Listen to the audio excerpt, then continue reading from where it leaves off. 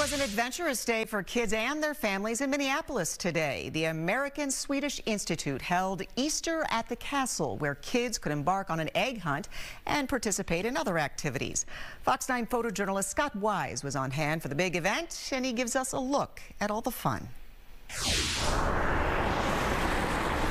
Happy Easter, everyone. How you doing? I got four for you. And then you can just boogie on inside. We're gonna get started with our outdoor egg hunt in a few minutes. Every kid gets 10 eggs. All right, so you can take your bags and line up by my friend Evelyn, and we'll start the egg hunt. Are you guys ready to find some eggs? Yeah, which way should we go? If you go that direction, I'm guessing, yeah, go to the uh, left. Goes in waves where, you know, a lot of the older kids will just immediately find their 10 eggs and run back upstairs. Now you have 10.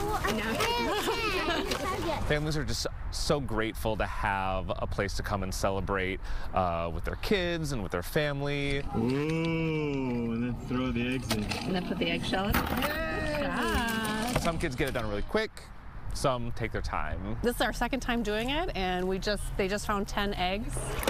Lots of candy to keep them uh, happy this Easter season.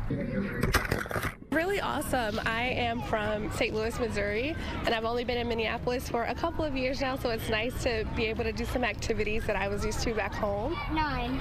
It's really fun, especially when the older kids get to like run a little bit further and leave the eggs for the little ones. It's nice to see that consideration. It was hidden in between the two pots over there. It's wonderful. It's so nice to have family events like this that we can bring both our 10 year old and our 4 year old to, and they can both really enjoy it. She's found 10. Kind of another way to build on Easter traditions. Ah, great day for it, too. All right, photojournalist Scott Wise there. Thank you.